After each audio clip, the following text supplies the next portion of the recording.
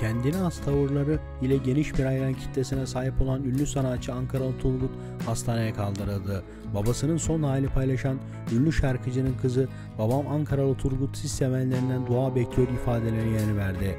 Ünlü sanatçının akciğer kanserine yakalandığı öğrenildi. Ankaralı Turgut adıyla bilinen Turgut Karataş hastaneye kaldırıldı.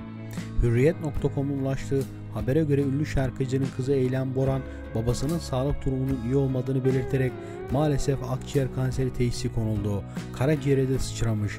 Pazartesi son tahlil sonuçlarına göre kemoterapi ve akıllı ilaç tedavisine başlanacak.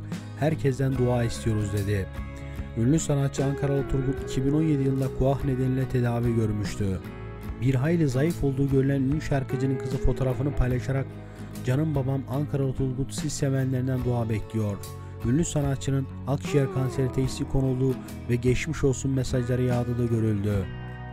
Ünlü sanatçı Ankaralı Turgut kimdir? 1963 yılında Ankara'da doğan ünlü simanın asıl adı Turgut Karataş'tır. Müzik hayatına henüz 12 yaşındayken köy düğünlerinde darbuka çalarak başladı. Davul çalan babasından başka ailede müzisyen sayısının çok fazla olması onun da müzisyen olmasını sağlamıştır. Ankaralı Turgut askere gidene kadar müzisyenlik yapan darbukadan sonra bağlama çalan Ankaralı Turgut bir taraftan da Ankara'nın neşeli türkülerini söylemeye başladı. Askerlik dönüşü yöresel olarak ilk albümünü çıkaran Ankaralı Turgut daha sonra amatör olarak 3 albüm daha yaptı. 1994 yılında İstanbul'a giden Ankaralı Turgut Tarkan'ın Oynama Şıkıdım isimli eserini tiye alarak profesyonel anlamda ilk albümünü yaptı. Bu albüm reklamsız 300 bin satınca ardından Barış Manço'nun Oku Bakayım'ı değiştirerek ikinci albümünü yaptı.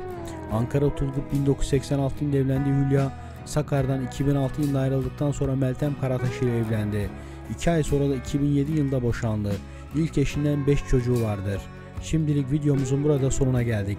Gündeme dair gelişmelerden anında haberdar olmak istiyorsanız aşağıdan kanalıma abone olup bildirimleri açabilirsiniz. Renkli sayfalar.